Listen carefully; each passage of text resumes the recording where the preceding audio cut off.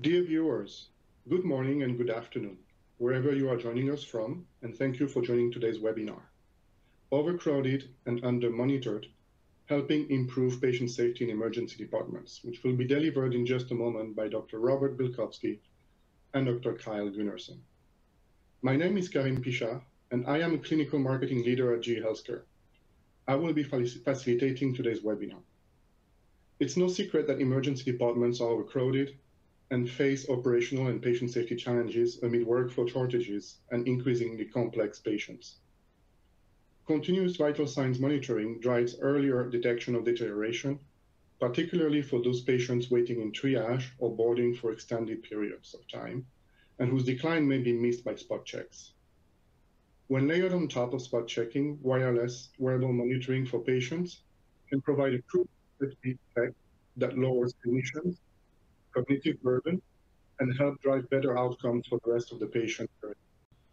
Uh, this webinar will describe both the current pain points and the new opportunities for vital signs monitoring in emergency departments and how newer technologies could advance patient care and hospital economics. Please note this webinar recording is the exclusive property of GE Healthcare. No part of, of the following content may be copied or reproduced without prior written permission from GE Healthcare. Before we begin, we want to cover a few housekeeping items. At the bottom of your screen are multiple application widgets which you can use. I'll briefly cover the most important ones. We would like to draw your attention to the resources widget where you can click and bookmark the links at any time for future reference. Also, during the webcast, you can submit questions through the Q&A widget. We will try and answer as many as possible at the end of, the, of today's presentation. You can find answers to some common technical issues located in the Help widget at the bottom of your screen too. Finally, for the best viewing experience, we recommend using a wired internet connection and closing any program running in the background. This webinar's recording will be posted on GE Healthcare Clinical View platform. Clinical View is a free resource for medical professionals intended to provide educational material and clinical information as well as share best practices. Please do not hesitate to browse and bookmark this page to watch past webinars on demand and check for future live webinars. Now, without further delay, I'd like to introduce our webcast presentation, Overcrowded and Under-Monitored, Helping Improve Patient Safety in Emergency Departments, presented by Dr. Robert Bilkovski and Dr. Kyle Gunnerson. Dr. Bilkovski has a broad management experience, having served in leadership roles in multiple Fortune 500 companies overseeing medical affairs and clinical development in IVD, medical device, and pharmaceuticals industries. Some of the companies where he served uh, in leadership roles include Hospira, GE Healthcare, Abbott, and Becton Dickinson. Robert currently is the president of R&B Ventures Consulting, providing strategic consulting in the field of medical and clinical affairs for medical device and diagnostic companies. Dr. Bilkovski received his undergraduate degree in biochemistry with a focus in genetic engineering at McMaster University in Hamilton, Ontario, Canada. Robert completed his medical training at Rosalind Franklin University, the Chicago Medical School, and subsequently pursued specialization in emergency medicine. Lastly, Dr. Bilkovski earned his MBA at the University of Notre Dame as part of his transition from clinical medicine to medical industry. Dr. Gunnerson has been clinically active in both cardiovascular ICU and emergency department for more than 20 years.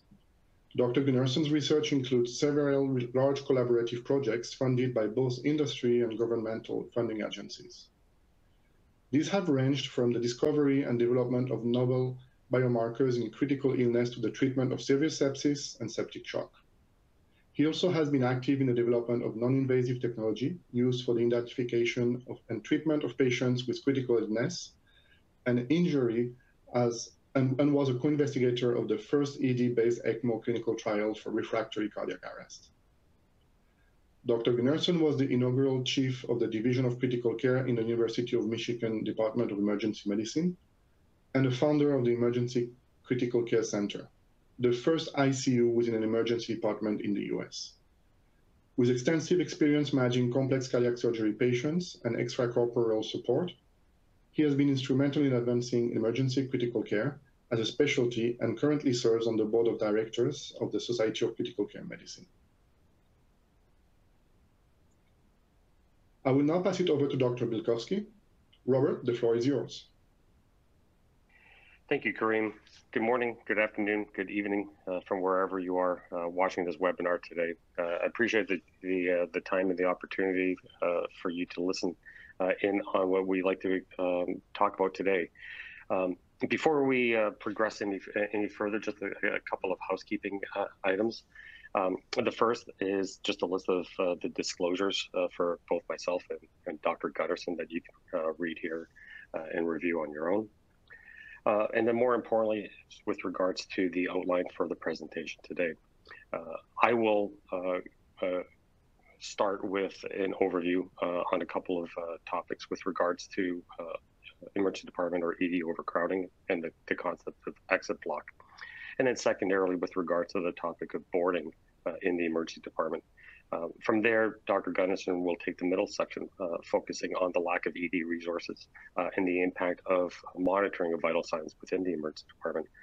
And then uh, transitioning over more into a discussion around uh, the use of continuous vital sign monitoring technology in the, in, in the emergency department and what type of clinical evidence is currently available or potentially available in the future.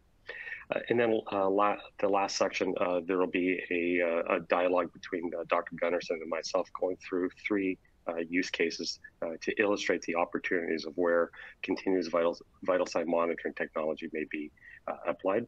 And then from there, we will close out the, the session with a, a, a Q&A. So at this point, if there are any questions that the audience wishes to uh, to ask, please feel free to put those within the Q and A uh, section of this um, uh, of this platform. From there, let's uh, let's turn our attention to ED overcrowding. Uh, the, the, the tell the tell of this is um, that this is a, a problem that has not started just two or three years ago. It's been present for for decades, and the statistics show uh, show this. In the in the United States, between 2006 and 2014, there's been uh, an increase of ED visits by uh, over 18 percent. Uh, along with that, there has been an increase in just under 7% of hospitalizations coming from the emergency department in the United States. And this is not just a, a US centric problem. Uh, there is statistics coming from the United Kingdom that are highlighted here where ED admissions have grown within the past 10, 15 years by approximately 50 50, 50%. Uh, but even more concerning uh, for the NHS uh, in the United Kingdom is that bed availability is going down. Uh, not a lot, but it's still going down. Um, and then there are uh, not published here uh, or presented here, but Australia, New Zealand, and other countries are also demonstrating and publishing issues around overcrowding in their emergency department environments.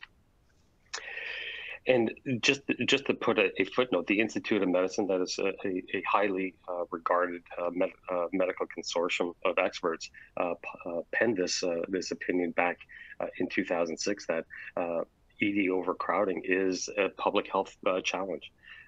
And why is that a challenge? It's because not only does it potentially affect patient care, but it also has st uh, stresses on uh, ED staff, of which we will talk about in a few minutes.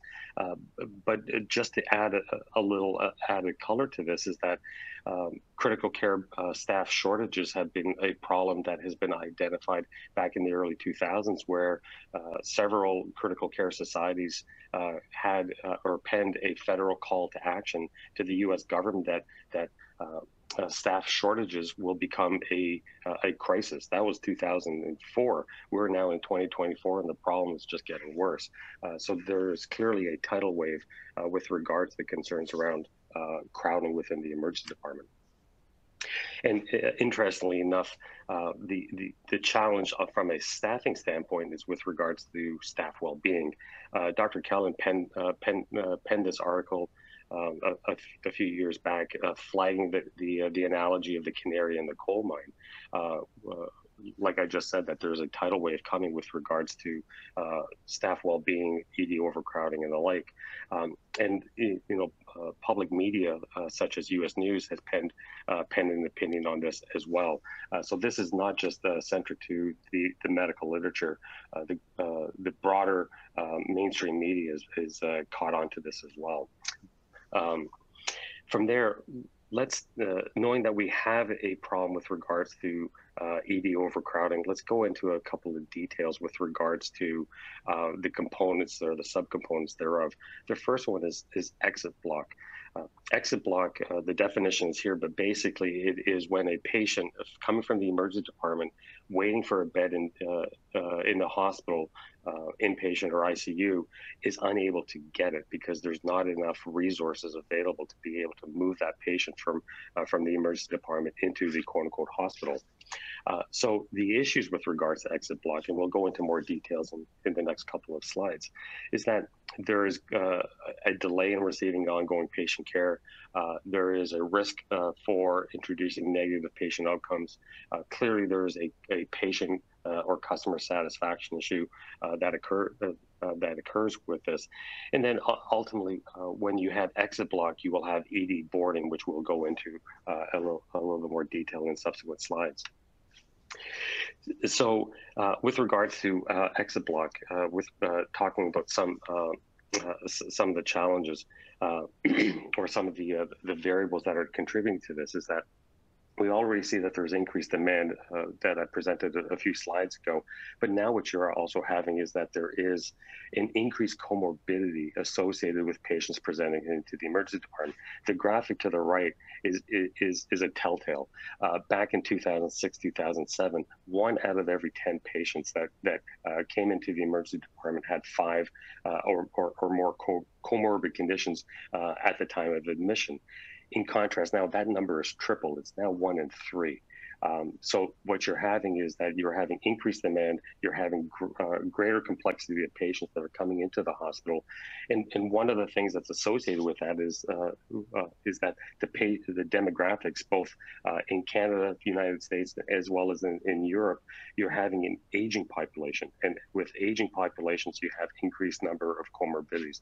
There is a positive correlation between the two, and if you just look at the graphics here in Canada and and in European Union, uh, the uh, the number of of uh, uh, individuals that are greater than 85 years years old will be doubling, if not tripling, within the next 30 to 40 years. So remember uh, that commentary from uh, Dr. K- Kelen with regards to um, the canary in the coal mine. Well, now others have come out and says, "Hey, that canary is is lost. The canary has died." Uh, because the problem is becoming such, uh, such critical uh, because it, it's affecting not only patient outcomes, but it's also uh, uh, staff well-being. Um, so transitioning from exit block into ED boarding, and I said that they're that they are relate they're interrelated to to one another. The definition here is somewhat similar, but a, a, little bit more granular. Is that it is the practice of a patient that is uh, been decided has been designated to be admitted uh, and waiting for an ED bed, uh, but the uh, the time for them uh, waiting in the emergency department is becoming excessive. Typically, the thresholds for uh, ED admission um, to define boarding is more than four hours uh, or uh, a more generous uh, uh statistic or, or, threshold would be waiting uh, overnight and not getting into a bed by uh, by noon the following day. Clearly, there is negative impacts with patients that are boarding. Um, it, just envision that a patient that is waiting for a hospital bed, they're in admitted status. The medical team is two, three, five, ten floors above from where the emergency department is. Uh, so uh, their routine means that after they round, they have to come to the emergency department, which is friction. There, uh, so the medical team to come to the emergency department uh, become uh, becomes a constraint. Uh, that that affects medical decision making, the time to implement in, admitting orders or continuing con continuing care delivery. Um, and then the other thing is within the emergency department is that when boarding is present and when it worsens, there is data that shows that the triage decisions within the emergency department get skewed. And that skew is to be able to go and prioritize patients at a higher acuity level than they otherwise would have been uh, prioritized. So now you're having a, a, a self-feeding uh, uh, problem here where uh, it, it is putting additional strain on to seeing certain patients that maybe not as sick uh, as uh, as they would be during quote unquote quiet time, uh, but now they're being uh, stressed to be seen earlier within uh, within the in the emergency department. And all of this translates into negative patient outcomes. If you look at uh, ICU centric uh, data of patients waiting for an ICU bed, uh, there's increased the risk associated with uh, ventilator associated pneumonia, um, increased ICU lengths of stay, as well as uh, ICU mortality. Uh, but more broadly across the hospital population, the risk for medication errors. It, it is intuitive that a patient um, that is being cared for on the in the ED for 12, 24 hours, um, there may be some logistical difficulties with regards to the uh, medical team that is up on, you know, 4 4 um, uh, coming down and uh, not transcribing the proper orders. And then clearly the, the bigger concerns, uh, more more in the United States and less outside the United States, is with regards to some of these errors translating into mal- medical malpractice suits. And then lastly, uh, no patient wants to be waiting in the hospital in the ED bed uh, for uh, 12, 24 hours while they're uh, they could have been admitted to the floor. So clearly, there are, are a number of uh, variables uh, associated uh, with exit block and ED boarding that are negative in this outcome. Let's take just one one uh, article that looked at this. Uh, pretty interesting data. Singer uh, looked at this and looking at the impact of ED boarding, of waiting up to two hours versus up to 12 hours, or or at least 12 hours. And there is a statistical significantly diff, uh, different uh, outcome with when it comes to mortality as well as uh, hospital lengths of stay. a near doubling of the of the hospital mortality rate and an increase in three days of a patient that is boarding by 12 hours compared to two hours for the same level for the same kind of conditions. Uh, so clearly there are there are uh, uh, health uh, health as well as economic impact uh, uh, ramifications of ED boarding. So my section is closing out, and I just want to kind of uh, re-encapsulate what I was talking about. You're having negative negative demographic shifts, both with regards to uh, increased ED utilization, both in the United States and outside the United States. Uh, you're having uh, increased uh, comorbidities and complexity of patients being cared for. You're having additional stresses of the staff, the staff within the hospital as well as in the emergency department. Uh, it, that has been flagged by the Institutes of Medicine as well as uh, uh, uh, national uh, critical care societies. Uh, so ultimately, there there is this convergence of all of these things that we're having to look for solutions, whether they're large or small, to be able to help streamline care and, and, alleviate some of the the burden that is placed upon the workforce. And, and on that note, let me uh, transition over to Dr. Gunderson, who will carry uh, carry forward into the next section of our of our webinar. And I'll uh, talk to you soon. Thank you, Dr. Bilkovski, for that wonderful, uplifting, enlightening, uh, refreshing uh, review of uh, the state of the emergency department that you know not only the United States but all of the the world seems to be experiencing at this time. that's a, a, a very uh, somber but uh, important background uh, to kind of take this to the next level, where we can actually, I'm going to go over uh, some strategies about how maybe we can mitigate uh, this impact of boarding and, and patient crowding within the uh, ED.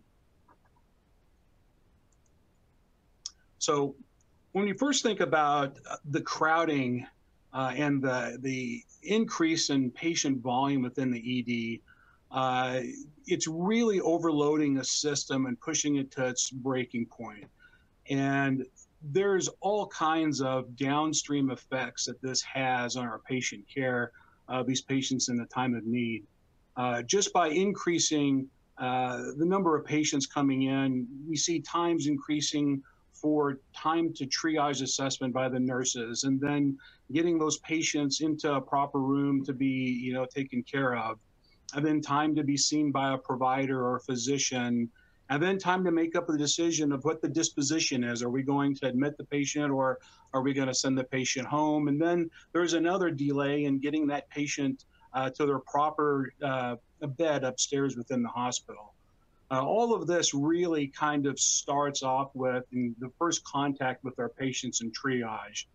Uh, during this time, with these uh, increased pressures on our nurses up front in the triage area. The efficiency and decision making process is definitely strained. uh, frequency of vital sign monitoring and uh, you know just managing these patients with multiple reassessments really can be you know pushing uh, our our staff to the limit and then you combine that with increased burnout uh, from our providers increased turnover so you know where we're uh, constantly having to train ed nurses appropriately and then also with um, managing patients that the ED really is just not set up to manage for long periods of time. Patients with multiple medications, patients with uh, nuanced specialty care, uh, patients with road trips, etc. This really is the tip of the sword or the tip of the spear that's going into some more problems within managing our patients within the ED. Before we really go into how we're getting our patients back to the various places, I'm just going to go over one way of uh, the majority of the emergency departments in the ED uh, uses to uh, grade the uh, severity of illness uh, in triage. And for this, most common uh, scoring system is the Emergency Severity Index, or ESI. it's on its fourth iteration. It's a, a very validated algorithm that's been published uh, in multiple uh, journals and uh, nurses that are trained on this. it's very reproducible. And basically, it's broken into five levels. The two levels on the extreme, level one and level five. Level one, uh, these are patients who are extremely ill. They have life threatening emergencies and they need a life threatening uh, intervention. Uh, level five are the patients who really have no uh, resource uh, need to, to, get their definitive care. Uh, and just as a note, you can see down there in the bottom left some examples of when I talk about resources. These are things like EKGs, labs, x-rays, etc. Um, level three is right in the middle. Now, level three can be a little tricky because it's uh, patients who are undifferentiated they can easily go to a level four, which is less severe, or they can get down to level two or level one, which is even more severe. So, level three are patients who are ill. Uh, however, their vital signs, when initially taken, are reassuring to some degree and definitely not in the danger zone. So, when we talk about our ESI scores, there's a large number of patients that fall into our level three. And as you can imagine, uh, these patients are at increased risk during times of crowding uh, because the um, uh, the time of uh, or the amount of reassessment is definitely decreased, and the amount of tension that's paid on these patients is definitely decreased. Now, there have been several attempts to try and mitigate this uh, influx of patients to try and get them to definitive care sooner. One of them uh, this was actually started uh, or actually took favor during the, uh, COVID pandemic, was putting a provider or a physician out in triage. Now, this was uh, a, a, paper that was uh, written up by a California emergency department, a large 83,000 patients a year uh, community hospital. this model, as you can see on the left, it's where the patients come in there's a central area to where the nurses do a rapid scoring system, uh, rapid assessment. And if the patients need uh, immediate care, they get sent to the appropriate uh, resuscitation bay, the trauma bay, or the psychiatric uh, unit. However, if the patients are less sick, then a physician can see the patient, do a quick examination, and then make a determination of where these patients need to go either they, they can be upgraded to, to an acute care zone or they can go down to a mid-level uh, type of uh, care facility uh, within the ED or even to a fast track portion of the emergency department. Now, this actually looks good on paper and uh, you know managing patients with this can actually be very efficient. It has been shown that it does increase several operational ED functions such as decreased door to provider time, decreased length of stay of discharged patients, and then a decrease of patients who are leaving without completion completion of their, their uh, services. So in times of where the system is not stressed, this triage position and triage model actually works well. However, as what Dr. Bilkovski was pointing out, when we have increased boarding or increased patients taking up the ED beds, this whole system gets clogged up. Um, the model still improves the door to physician or door to provider time, and it also improves the uh, length of stay for the discharge patients. However, for those sicker patients that need to be admitted uh, and are waiting for beds upstairs, it really does nothing to uh, affect that time, and it does nothing to affect uh, mortality or length of hospital stay. So it it looks good, and in theory, it, it, it, works. But however, like anything else, when the system is stressed, uh, this loses its efficiency, and it's just not the the answer to the problem.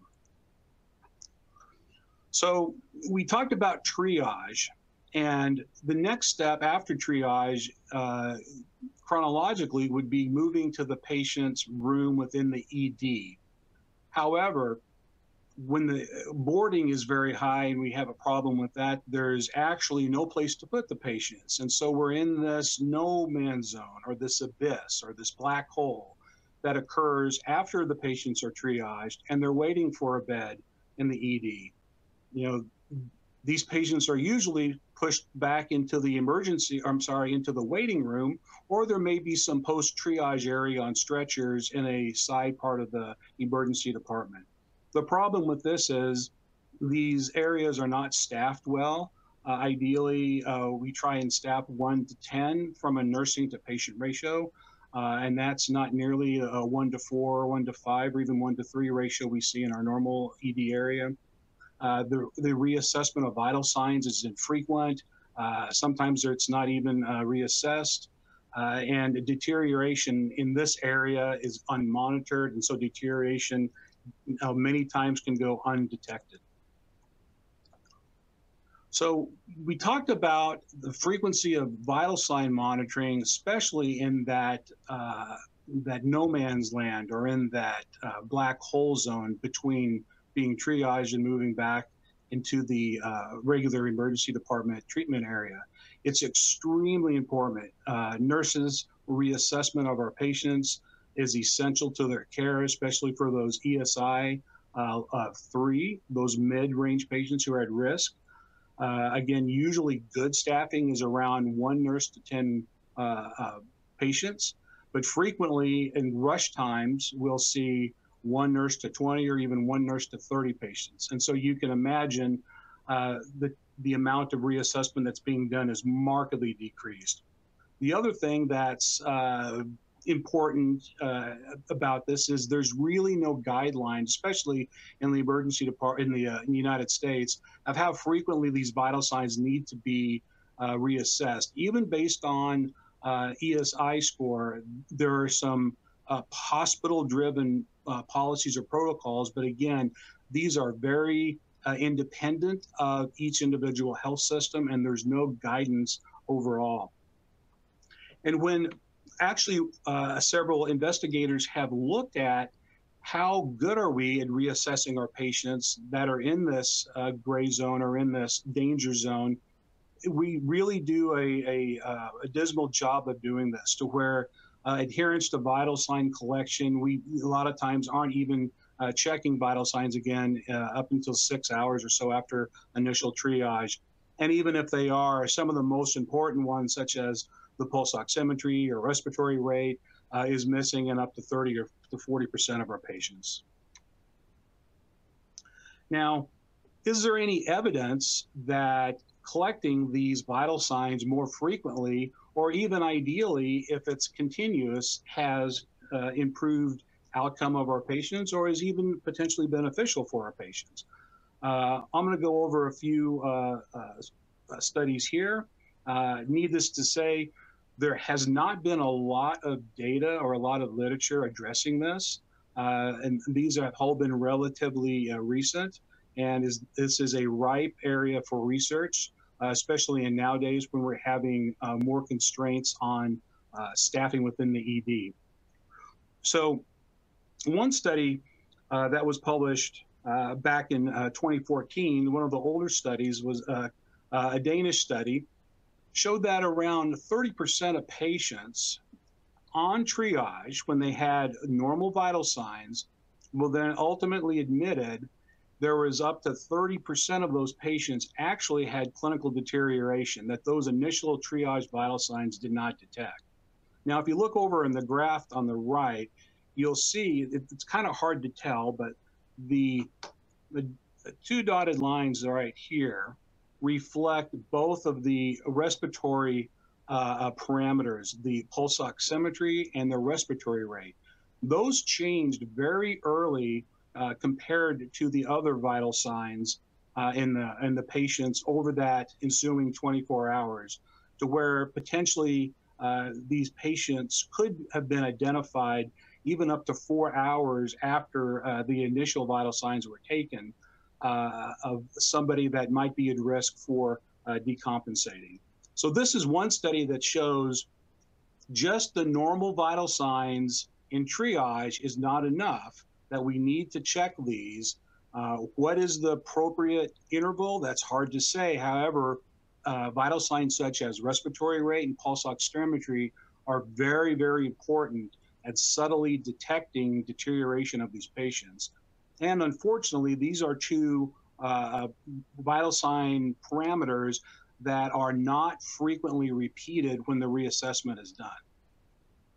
Now, uh, another uh, study that was uh, published um, back in uh, uh, 23 showed that in a community hospital, uh, there was a higher incidence of ICU transfers within the first 24 hours.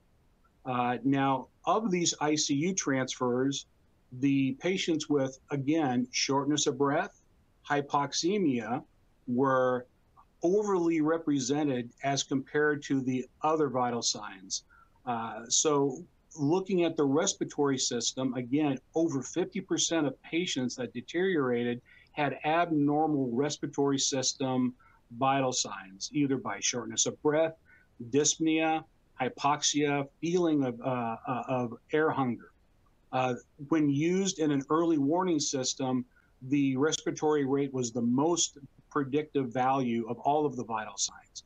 Again, so one of the most infrequently checked and recheck vital signs is arguably one of the most important vital signs to monitor uh, for early deterioration of our uh, of our higher risk patients. Now, is there any data about continuous vital signs? Again, there's a paucity of evidence in, in this degree. However, there's a couple papers that uh, kind of tend to address this issue in a, in a, in a, in a logical way. So when we think about uh, the clinical deterioration in the ED, this really can happen in the, the danger zone of the two phases of care that were mentioned before. That that zone after triage and before being seen by a provider, uh, and, and, you know, uh, getting back into the uh, the main emergency department. This can be mitigated to some degree by having a physician up in triage, but for the most part, these patients can wait six, seven, eight hours after being triaged to make it back to a bed to where they can start getting their definitive emergency department care. And then the other danger time is once the patient's been admitted to an inpatient service and they're waiting for the bed. And this is again what Dr. Bilkovski talked about. This is our boarder patients. These are two very danger zones that our patients are, are really high risk uh, decompensating. Again, to date, there's limited evidence to support this.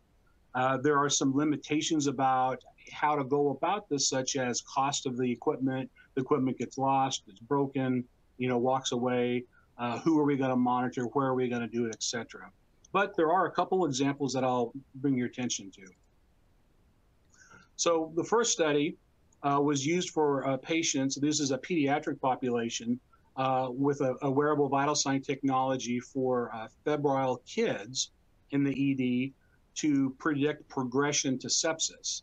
And as you know, you know, sepsis is on a continuum, and a lot of these kids are at risk when they come in, but they don't quite fit the criteria. So these patients were placed on uh, continuous monitoring technology, and the the algorithm used really focused on the heart rate and the respiratory rate. So, the least the respiratory rate was, has been shown before, an extremely important parameter to detect uh, early deterioration. And very uh, interesting, which uh, it kind of you know fits the proof of concept, is that the model was actually able to predict uh, sepsis early, uh, roughly nine hours compared to when the manually or when the routine vital signs were collected. So the continuous vital signs were actually very good at picking up patients who would then click over on the SIRS criteria to would trigger then a, a, a sepsis team or a, a, change in care uh, response. Uh, more so than just uh, relying on manual reassessment of our uh, of our vulnerable patients. And then the second one uh, was uh, done at the Mayo Clinic. this was published back in 21, where again, wearable vital sign technology uh, monitors were used for patients on the general medicine floor. And these were trying to predict patients who are going to deteriorate and see if rapid response teams were uh, affected by having early continuous vital signs rather than, say, your vital signs checked every shift, every eight hours, etc. They did find out that after having this technology on, the rapid response team activation decreased by over 50%. Uh, and actually, those patients who were sick enough and the vital sign technology picked up their decompensation, those were then transferred uh, to the ICU, but their length of stay in the ICU decreased by almost a day. Now, that could be argued that we're able to catch our patients earlier in their disease process, and thus we're able to start addressing them sooner before they really got sick. Uh, the other interesting thing about this, as you can imagine, the nurses really love this technology because this continuous level is, is providing a set of monitoring and vital signs that they are just not able to uh, uh, re replicate even in the best of circumstances. Now, what are some potential cases? How can we use this uh, technology uh, within the emergency department. We're going to, you know, Dr. Bilkovski and I, we're going to move over into uh, a next couple of uh, clinical scenarios that we see, and not too infrequently. I see this probably, you know, at least once or twice a, a shift uh, while I'm the physician in triage, uh, and I don't have the luxury of having a continuous technology. So the first case we'll bring up here this, again, is a very common uh, patient presentation. A 65 year old female, female presents to the ED with cough, with fevers and chills, and sweats for two days. Uh, she has a history of diabetes, high blood pressure, uh, colon cancer, uh, status post surgery, and is currently in remission. Prior to arriving to the ED, she took uh, acetaminophen and ibuprofen. And on the triage assessment, her temperature was 37.8 degrees centigrade, had a heart rate of 105, respiratory rate of 20, blood pressure of 103 over 45, and her pulse oximetry was 92% on room air. When he listened to her, her lungs, she had a few wheezes and she was diaphoretic or sweaty. Now, when we look at this, she does have one out of four SIRS criteria, and we're assuming that this is being driven by an infection. So she has possible sepsis. Um, the orders that were done were ordering some blood, some routine blood work, and get a chest X-ray, and she needed an IV. And we're going to give some IV fluid and possible IV antibiotics. So as far as the ESI triage score, she had about three resources used. She had no vital signs that were in the danger zone. So this patient would have been uh, an ESI level of three. Now, keep in mind at this time, the ED is extremely busy, and an ESI of three is going to get you moved to another area in the waiting room or an area uh, not in the actual treatment area for the ED. So, how is that going to pan out? Well, what happens with this patient? She goes back to the waiting area. Vital signs aren't in danger zone, but using several resources with the laboratory, et cetera, and our nurses are understaffed, so they're not able to reassess her as much as they would like.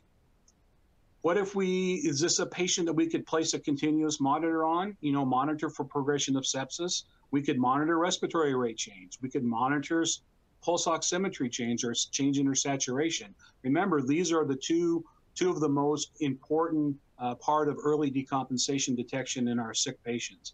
And of course, we can you know monitor a change in our heart rate too.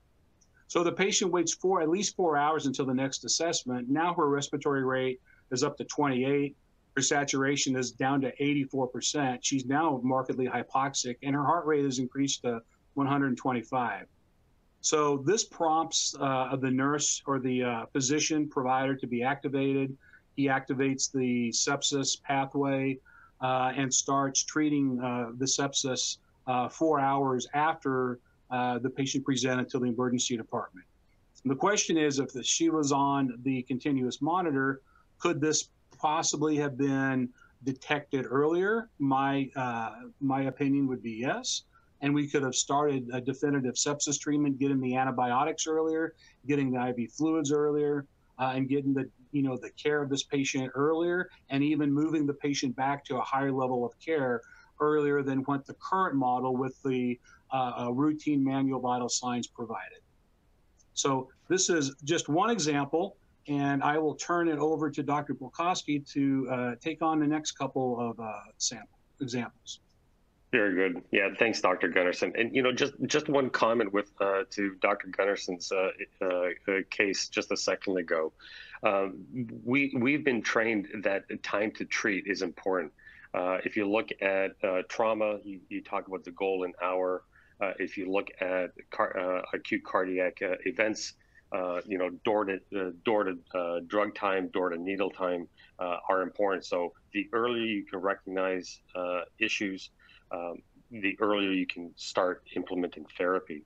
Uh, the same thing is here is that the premise in triage is that the patient has a spot has a spot check in time, uh, and then the patient may declare themselves. Uh, and with having uh, spot check vital signs, you may not be able to capture that that uh, quote unquote declaration uh, of the patient until that that spot check occurs that could be two or four hours later. Um, and, and the issue really is uh, that patients that are in um, that are triaged in that ESI three, that's kind of the bell-shaped curve. That is where the large majority of patients fall in. That's kind of the, the abyss. Um, from my standpoint, um, that is an opportunity zone uh, to, to solve on the front end or bo- uh, one of the bookends is on triage. The second one, I don't have a, a, a case, uh, but more of a, of a narration around the use case for ED boarding. There are there are studies that have shown that patients that have, uh, as Dr. Gunnerson talked about, uh, rapid response team notifications after they got admitted within the first 24 hours. There are certain patient populations that benefit that that could have the potential to benefit from this type of continuous vital sign monitoring. Uh, clearly, those that have pulmonary issues acute febrile illness uh, uh, admissions uh, makes uh, makes a fair amount of sense.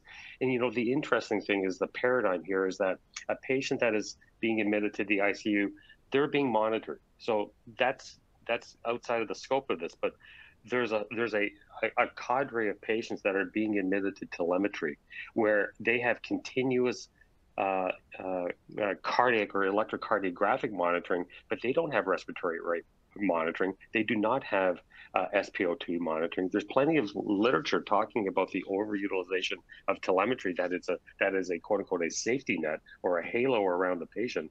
But there's an opportunity where pa- patients that are having uh, uh, cardi- cardiovascular decompensation, maybe it's congestive heart failure, not a, a acute coronary syndrome, where you can also apply a continuous vital sign monitoring on patients that are now in a boarding state clearly, if a patient that has uh, been uh, identified to get admitted, they're going to the floor, beds are beds are aplenty.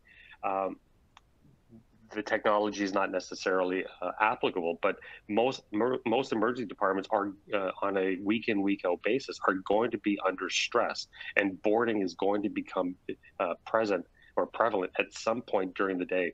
My days when when Dr. Gunnerson and I uh, worked and trained at Henry Ford, uh, every Monday was not a good day. We're always busy. So guaranteed a Monday is going to be a day where you're boarding patients. Why? It just it, maybe it was a Detroit thing, but uh, that is just uh, one one caveat where um, patients that are waiting for a bed in, in a boarding status, certainly those that have dyspnea, some cardiovascular concerns, acute febrile illness. I would even expand it to things that that tend to be a little bit more cryptogenic, and they need to declare further. Undifferentiated abdominal pain. Uh, as an example, and then uh, those with altered mentation, uh, not necessarily due to uh, psych, uh, psychogenic issues or from uh, drug toxicity issues, but uh, the, the patient that comes in with uh, undifferentiated altered mental status, they're not going to be verbal. So having the the safety of, continuous vital signs um, in that in that patient that has already been declared to be boarding would be beneficial. Dr. Gunnerson anything that you'd want to care to, to add here before I move on to the, the third and final case? No, that's that's that's very good. You know, uh, just like you said, we have a false sense of security with watching telemetry patients when, in fact, uh, respiratory rate, you know, hypoxia is is probably a lot more predictive of somebody who's going downhill and decompensating, uh, and that happens before you see any type of change in your, you know, in your, uh, you know, your in your rest in your uh, heart rate or even heart rhythm for that matter. So I, I, totally agree with what you said. Very good, great, thanks. And let's uh, let, let us uh, wind down this uh, this webinar onto a final use case. Um, you know, we, we talked about the the bookends. You look at early on in the emergency department triage. We're looking at the back end. We talked about boarding, uh, so looking at a certain uh, cadre of patients that may benefit uh, from having continuous vital sign monitoring during while they're waiting for a bed. Um, but then the other place is in the middle. Uh, we see patients in the emergency department. Uh, we are uh, implementing a diagnostic uh, and therapeutic care plan, and we're we're allowing time to be a, a benefit to us because time. Time helps the patient to declare themselves whether or not they are getting better or they're deteriorating. Just as Dr. Gunnerson was talking about this septic patient in triage, the same thing happens in while after they've already been uh, uh, seen by a physician and the care plan is being implemented. The places where I, uh, in my opinion, where, where there would be benefit is in patients that have acute febrile illnesses. So someone comes in with pneumonia, someone comes in with a cough, someone comes in with uh, a suspected cellulitis or a deep space abscess, uh, that's an area where you'd like to be able to monitor that respiratory rate continuously. That's also a, place where you want to monitor their their pulse and heart rate continuously. Um, and clearly, those that have dyspnea or pulmonary symptoms, the, the continuous SpO2 uh, would be of uh, would be of value. And and the benefit of uh, utilizing this during their care plan is to help further refine the ability that the patient is actually on a course of improvement or a course of deterioration to further codify your decision that the patient needs to stay longer. Maybe I need to put them in an observation uh, status uh, in, in, my ED, uh, or they declare themselves so that they actually warrant being uh, admitted to the hospital. And and it really, it's the, the, the challenge is those those ESI threes. That's the bulk of the patients they are seen in the non-monitored part of the emergency department, and when it's busy, those that nursing nursing to patient ratios balloon. So how do you provide some benefit or some some some uh, some support to the nursing staff uh, that just can't get the vital signs done uh, uh on uh, on a frequent basis, while they also have to help support the implementation of care. Uh, so I think that's another area that that is ripe for talking. And if I can, it, it, it's an interesting tangent. Um, the we talk about uh, uh, artificial intelligence. AI is pre- prevalent all around uh, uh the world as, as we talk. Um, not as much coming out in, in, in healthcare, but there is a place where machine learning can really shine. And machine learning will shine as you have greater data, especially continual data flows. That is a that's an opportunity where I think that, that in the next, you know, two to 10 years, there's going to be a transformation by being able to take more continuous uh, uh, patient-centric variables uh, labs, vital signs, electrocardiographic information, etc., um, and then be able to assimilate that into a machine learning algorithm to help further uh, support these decision making processes of sick, not sick, improving, not improving. Um, so, uh, Dr. Gunnerson, anything to add on, on this before we uh, transition into the closing? No, you're absolutely right. We've actually had several grants here looking at that uh, machine learning to, and actually looking at waveform uh, outside of the normal squiggly lines that we have been accustomed to, you know, detecting for such as ECG or EKG tracings, looking at the waveforms in between it, uh, using machine learning has actually been able to predict patients several uh, hours sometimes before they have their decompensation. So you hit the nail right on the head. AI is really going to help us uh, monitor our patients in a very uh, a more strategic and early, in, in a way where we can act earlier on them than we currently are. Wonderful. Th- thanks for that. So let me uh, let me uh, uh, uh clo- close this out, and we can transition over into a Q and A. Uh, have about 10 minutes left. So uh, as I started off, there was this an objective that we wanted to talk about ED overcrowding, ED ED boarding, the negative implications associated with that. Clearly, there are patient challenges associated with that, with adverse outcomes, but there are staff challenges associated with that as well. Um, looking at the the implementation of vital signs in, in the in the emergency department, uh, there's no set schedule, uh, but they are uh, routinely monitored. Continuous vital sign monitoring is an opportunity to help uh, augment uh, the clinical team uh, to be able to improve their workflow is one uh, maybe alleviate some of their burden. That's a second. But then ultimately, it's uh, helping to drive uh, patient care decisions to see uh, where are where are they in their clinical course. Um, so uh, some of the obvious places where uh, it can show some benefit uh, is with regards to uh, undifferentiated respiratory complaints, uh, undifferentiated acute febrile illness uh, is, is, another another example, uh, and then ultimately what we what we're calling for here is that this is not the the panacea that you need to implement this uh, at, at present time, but it is certainly a call that the, there's enough body of evidence and scientific basis that this technology has has merit start start uh, implementing, start uh, conducting research, and identifying where this type of technology will shine and where where it may actually not be able to provide the necessary benefits. As as Dr. Gunnerson uh, talked about the physician and triage model, certainly works when the, the hospital is not stressed. But what happens uh, when you're at DEFCON five and and uh, patients are waiting 12 to 24 hours to be seen? Uh, so on that note, I'll close out the the presentation and I will transition this back to Kareem uh, for a Q&A session. Thank you, everybody. Thank you, Dr. Bilkovski and Dr. Gunnerson for those insights. So we'll now address questions from the audience. Um, at this time, we're only able to address questions in English, and please bear in mind that some questions and responses may not be relevant in all countries. The first question uh, will be directed to you, Dr. Bilkovski, as it was um, related to the first part of the presentation on ED block and ED boarding. And the question is, are ED virtual observation units um, a solution to this problem? Uh, so, so just to encapsulate uh, the the question, so looking at virtual, uh, the the ability to, for virtual monitoring, absolutely, uh, there are capabilities to be able to provide virtual solutions uh, within the hospital environment. Just as an example, uh, there there are telehealth uh, systems that are being implemented to, to solve the issue with uh, critical care coverage uh, in rural hospitals in the United States. Uh, so clearly there is there is that capability. However, I, I will just throw a little bit of caution is with regards to the the implementation uh, of of that type of a solution is by being able to build the infrastructure of not only the technology uh, at the hospital, the bridge uh, to be able to, uh, to to virtualize that that information, and then being able to have some type of a care team uh, that has the ability to watch, and then to be able to safeguard and communicate back uh, to, to to the local facility. Typically, virtual care uh, platforms work when you can operate at scale.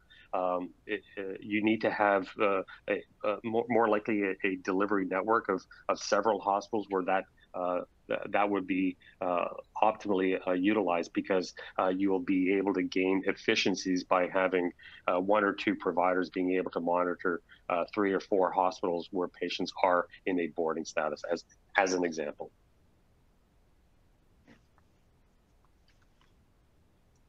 All right. Thank you so much, Dr. Bilkovski. The next question is um, related to metrics. So are there specific metrics that demonstrate an ED is running or being managed at its best? Yeah, I'll take that. That's a that's a very good question. So there are two basic types of metrics. One is we consider our operational metrics, and those are just basically how good is the ED at moving our patients through. So this is really based on time. So how quickly can the patient, you know, be triaged and be seen by a, a provider, a physician? How quickly is it from when the physician sees the patient? Does the first tests get ordered, or the or the uh, or the uh, uh, X-rays get done? And then it's how quickly can the patient uh, can the decision be made where the patient can either be discharged home or admitted? And then the other time is how fast are they uh, moved from the emergency department to their inpatient bed if they are admitted. So all of these time metrics kind of help with operational flow based on hospital crowding, can help with staffing, especially in surge time. However, this is a really good question. If you really want to nail it down to how well that ED is working, you look at disease specific metrics and in you know there are several of them. It's like how quickly can we uh, uh, diagnose someone with a ST segment elevation MI, and when we diagnose them, how quickly then can they go to the cath lab to get their, you know, to get their coronary arteries opened? Somebody presents with a stroke. How quickly can we do the CAT scan, get neurology down, or do that NIH stroke scale ourselves to end up uh, getting uh, the patient referred to neuro uh, interventional or by giving uh, thrombolytics, you know, by the ED physician. And then, of course, the big one is sepsis. How early can we detect sepsis with their vital signs? How quickly can they get fluid? How quickly can uh, patients get uh, antibiotics? Uh, and how quickly can we uh, get blood cultures and repeat lactate to, uh, to kind of gauge our resuscitation? So all of these disease-specific metrics, if the ED is hitting on them, but not doing well with the operational metrics, I would argue that that ED has actually found a way to to optimize patient care in these really uh, uh, trying times of, of uh, overload and, and, patient crowding? That was a good question. Hey, uh, uh, Kareem, uh, if I can just add add to that, you know, I appreciate metrics, and I work in industry, so KPIs are, are prevalent for all the companies that I, I touch and interact with. Um, at, the the emergency department is no no different. However, I think you, one has to appreciate that this is this is a just a uh, just one element of the bigger uh, facility of operations at the hospital level. Uh, so there also needs to be a look at operate uh, of uh, of uh, optimizing the uh, the metrics at the hospital level, the throughputs for these different disease states, the ability of a patient to be cleared, uh, you know, while waiting for a bed uh, to be discharged, why uh, being able to clear them out in the morning, maybe in the holding area, so that that patient that is waiting in the emergency department doesn't have to wait until after 12 o'clock for the patient uh, that's that's in the bed uh, to be cleared uh, you know, take take a take a look at Airbnb. Uh, you have to check out at 11. Uh, if you don't, you get you get penalized. Something along those same lines. Uh, it would be a, a, refreshing look to look um, more system wise at, at, at, the hospital uh, more broadly. All right. Well, thank you. Um, another question is: Is there a patient criteria or area in the ED you would use to put an ED patient on continuous monitoring? Or should all patients who enter the ED have some type some type of continuous monitoring? You, let me let me take that first, and then I'll hand it over to Dr. Gunnerson to, to add some uh, some color. Uh, to, to me, my my my opinion is. Uh, with new technology, the best way to, to approach is is to uh, put your foot in the water first, as opposed to ju- as opposed to jumping in, uh, and and then demonstrate the proof, and then start to expand uh, identify areas where additional uh, disease states or, or, symptom complexes could be beneficial. So to me, the obvious ones are acute febrile illness. Why? You looked at the, the Korean study uh, for, for sepsis prediction. Uh, that, that has the ability to identify uh, patients that de- declare with, uh, with sepsis earlier and time to treat sepsis uh, is, is a continuum, so uh, you can be able to reverse that cascade. Acute pulmonary uh, illness is, is, the other one uh, for me that, that that's an obvious place to start. Um, and then the other the, the other places uh, for triage, uh, ESI.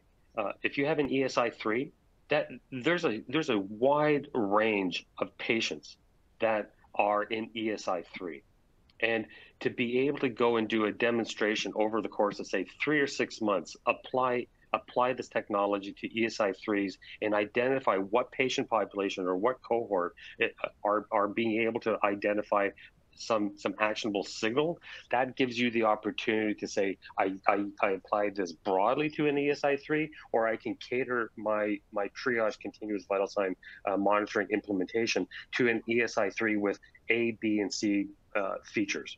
And that's where that's where that's where machine learning will come into into play with this, and and learning your your your patient-centric data. And what happens in one hospital may not be the same uh, as someplace uh, across the country or in Europe. Uh, or uh, or elsewhere. Dr. Gunnerson, anything you'd like to add? You know, I definitely would agree. You know, depending on your resources, uh, strategically uh, ESI three patients, and then of course all ESI two and ESI one. Uh, ideally, all ESI three, unless there's of course there's some outliers, and it's you know the patients aren't at risk. So uh, the vast majority of ESI three and above from a severity standpoint. All right. Um, then the next question is, would it be better to have more hospital personnel or rely on technology instead? I'll take that. I'll take that first. That that is a double-edged sword. Um, uh, because uh, I, uh, I have been involved in uh, talking ab uh, about adaptable acuity, so uh, flex capacity models in the in the hospital and ICU previously. The challenge is with re with resources. You can always go and, and staff up resources. the problem is what happens if you don't have the demand. Uh, so it's always matching supply and demand to, to allow the hospitals to operate uh, as efficient as efficiently as possible. There, there's certainly the ability to benchmark your your uh, your patient volumes uh, throughout the week. Uh, so that you can actually have flex staffing to accommodate that, but it, that only goes so far. you, you're not going to be able to predict uh, with, with great uh, great precision the demand uh, for services on any given day or any given hour. Um, so if you get overwhelmed, uh, the bus comes in, quote unquote, as we we we uh, colloquial have called this many a times. What are you going to do? You just have to plug plug through and and, and manage them as, as quickly and as efficiently as possible. And that's where I think technology uh, like this, the continuous vital sign monitoring, helps helps to alleviate those concerns. Yeah, I would just take this, you know, a little bit more direct. If looking at it from a business standpoint, from a hospital, technology is cheap in the long run. You can depreciate it over time, uh, and it can actually, you know, uh, uh, come off your books uh, over several years. Whereas hospital personnel are very expensive. They have salaries, they have training, they have onboarding, they have benefits. Uh, so definitely, uh, from a business standpoint, the personnel is the most expensive part of your business.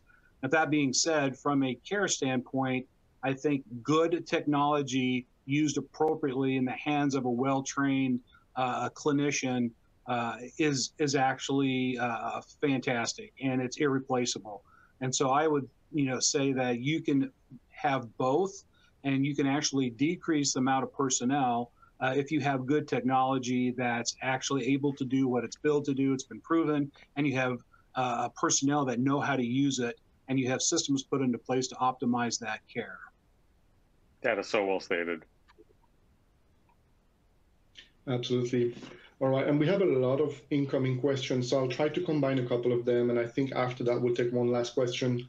Um, so, have you used um, some of those continuous monitoring technologies in your ED virtual observation units or ED halls, and then what's keeping ED departments around the world from using similar technologies in their EDs already today?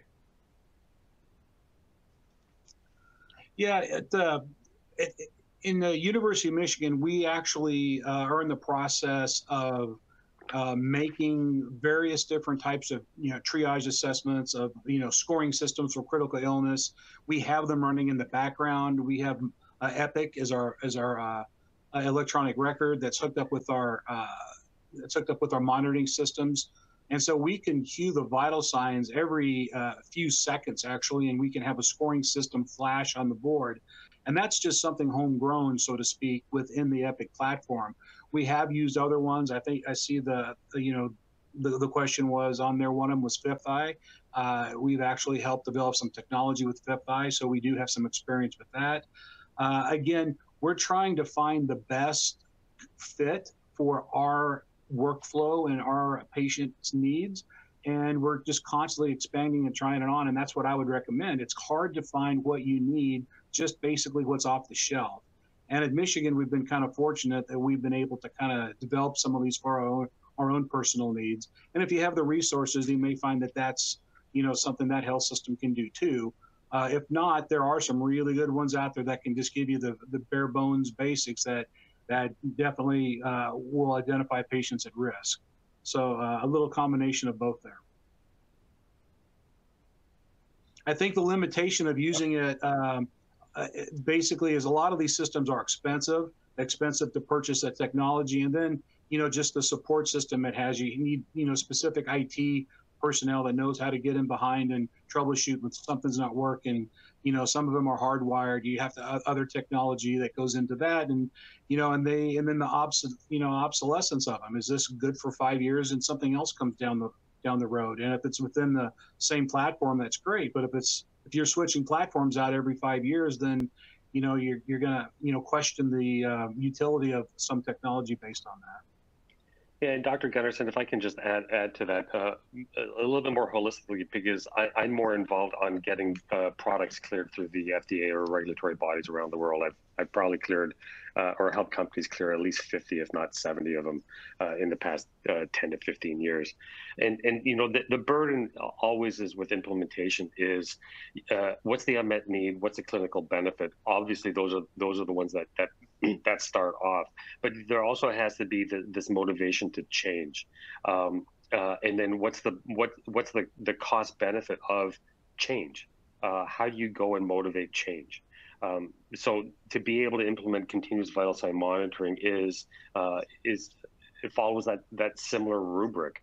Uh, and I'll just give a, a, a quick uh, uh, analogy um, for you know robotic surgery uh, robotic surgery has transformed uh, sur- uh, surgical care.